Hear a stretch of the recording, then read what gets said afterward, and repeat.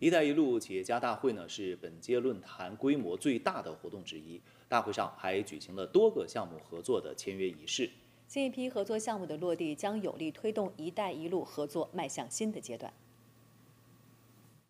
一带一路”企业家大会今天下午举行了签约仪式，有近三百位中外企业家代表在现场签署了合作协议。那么签约的内容呢，就包括了基础设施、人工智能、清洁能源、金融服务等多个领域。那么很多企业签约的项目的金额和数量都创下了历史的新高。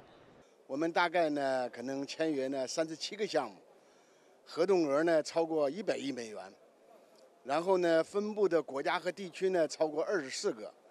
那么这个呢也创了历史的最是新高。我们这次呢在这个大会上签的项目呢大概就有八个，主要是为“一带一路”国家所在国家的项目呢提供一些授信和结算方面的支持，涉及到的领域呢包括光伏储能、节能减排和电信网络。我们这次签约的金额是六千万人民币，主要跟萨特航空呃进行高度的民航保障装备，呃我们总共有六十台呃这样的保障装备。呃，主要是一是无人驾驶、智能网联的设备。在本次大会上，很多企业家表示，通过共建“一带一路”，形成更多合作机制，构筑安全稳定、畅通高效、开放包容、互利共赢的全球产业链供应链体系。“一带一路”相关市场已经成为新的增长动力。“一带一路”这个相关的国家和地区，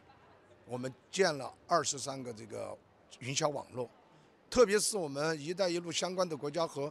地区呢，就占了我们海外市场的百分之四十左右的份额。一带一路的一百五十个国家当中，有一百四十多个国家有我们产品，这些国家的销售已经占到我们海外出口的百分之七十。